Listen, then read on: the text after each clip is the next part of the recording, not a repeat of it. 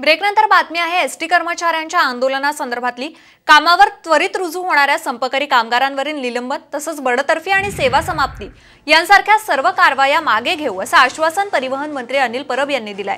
यानंतर महाराष्ट्र राज्य कनिष्ठ वेतन श्रेणी एसटी कामगार संघटनेचे अध्यक्ष अजय कुमार गुजर यांनी एसटीचा संप मागे घेत असल्याची घोषणा केली तसंच कामगारांनी कामावर रुजू होण्याचं आवाहन त्यांनी केलं. मंत्रालयातील अनिल परब यांच्या दालनात ही बैठक पार पडली आहे.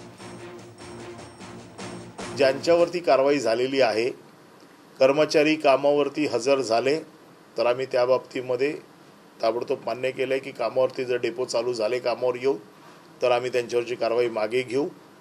जे कर्मचारी आम्ही त्यांना म्हटलं की बावीस तारखेपर्यंत आपण सगळे कामावर हजर व्हा. परंतु जे कर्मचारी जे बाहेरून मुंबईत आलेले आहेत उदाहरणार्थ चंद्रपूर असेल भंडारा असेल ज्यांना जाण्यासाठी दोन दिवस लागतील अशा कर्मचाऱ्यांना एक दिवसाची सवलत आम्ही अजून देऊ.